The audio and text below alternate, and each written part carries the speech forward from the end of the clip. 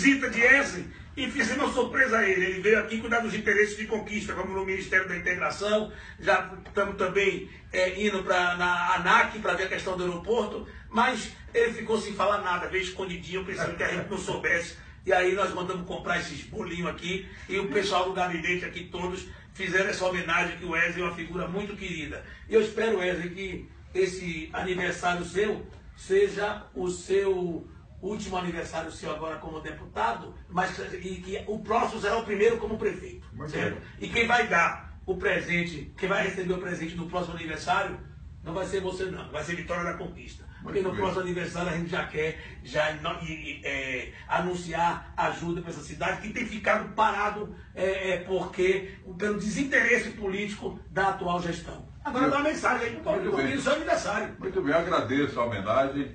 é, é, me emocionou. Agora, essa emoção é em função da minha terra, Vitória da Conquista. Porque com os irmãos Vieira Lima, com, com Gedel Vieira Lima, ministro, e com Lúcio, eu tenho dito no, meu- no nosso programa de rádio em Conquista, que Vitória da Conquista agora tem, tem, tem vez e voz e representatividade. O maior problema nosso é a água, sem dúvida, das demandas de conquista, a água está angustiando a população. Uma cidade de 350 mil habitantes, nós estamos aqui exatamente com esta boa vontade de luz do ministro Gedel para viabilizar esse grande projeto que, sem, sem dúvida, será o grande presente para mim e para a nossa terra. Então agora vamos comer o bolo. Outra. Tem que soprar de novo.